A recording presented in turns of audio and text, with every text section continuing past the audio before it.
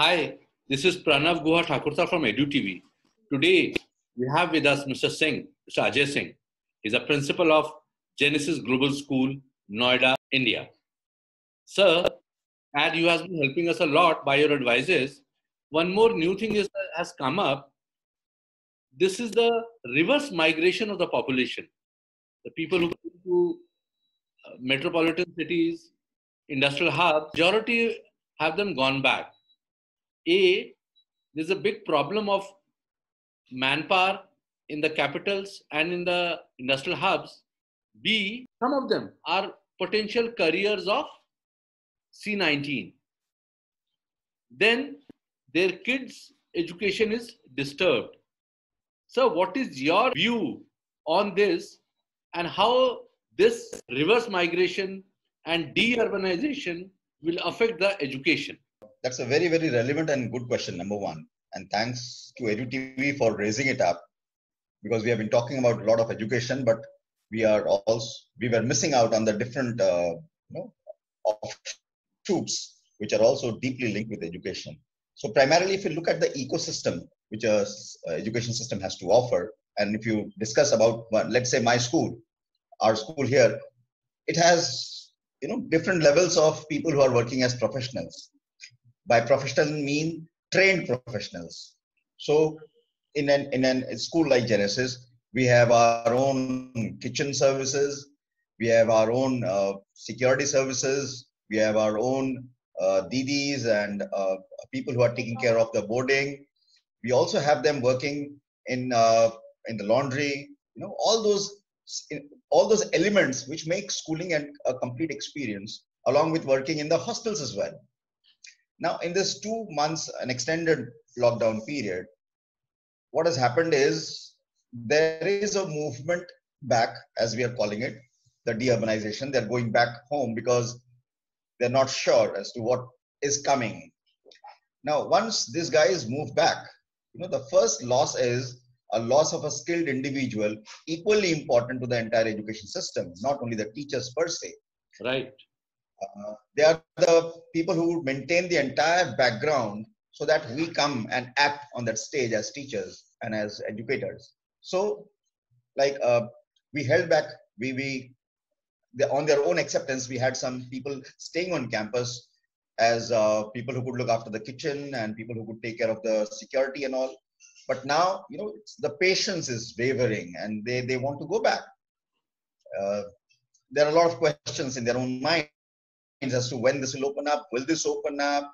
What will happen if the jobs are at stake? So, in this uncertain times, I think they are taking a decision which is a bit more certain vis-a-vis their perspective.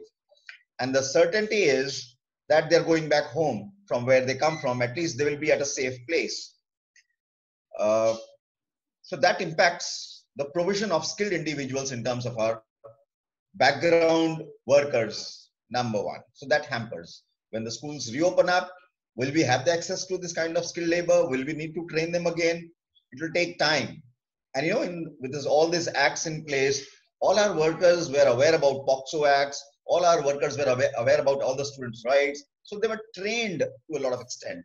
Now again, the retraining, the the you know the uh, bringing in of all the ethos and all the moralities in those workers whom we were there looking at since long years will be a challenging task.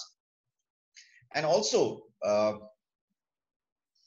along with them, their families also have moved back. So let us not only discuss the education of, as I call it, two Indias which exist in India. One is the European India, which is some segment of the society, and the other one is, sorry to use the word, but an African India, where we are primarily still to develop. So all these people come in the cities with the hope of a job, with the hope of better education for their own kids. So the kids also have gone back. Their education takes a beating.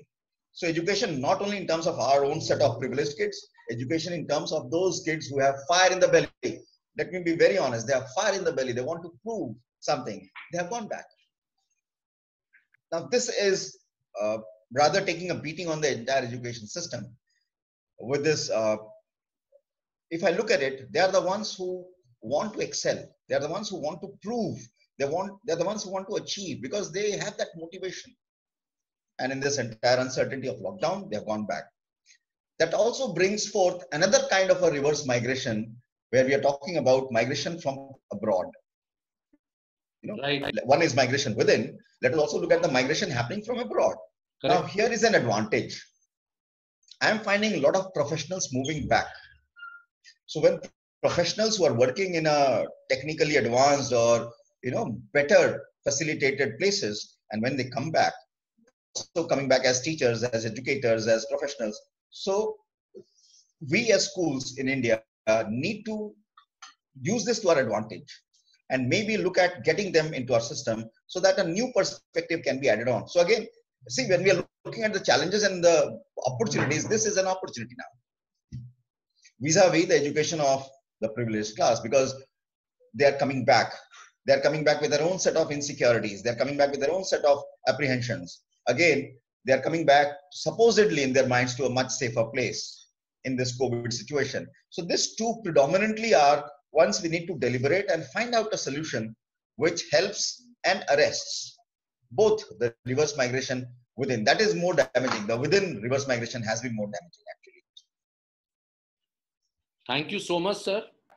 We didn't thought of that people coming from abroad, like I think roughly 2 lakh people came back from Kerala so yes. I think that can add to the uh, like nation. Similarly, I think some of the people who have gone back to villages or tier two cities from these, they can also add up to something in those cities also. So I think you gave a new like light on this uh, topic. I'm sure this will help a lot of people and be useful for us. Thank you so much, Mr. Singh, for taking out time and giving us the insight. Thank you, sir. Always a pleasure. Thank you. Sir. Always a pleasure. Thank you so much. Take care and stay safe.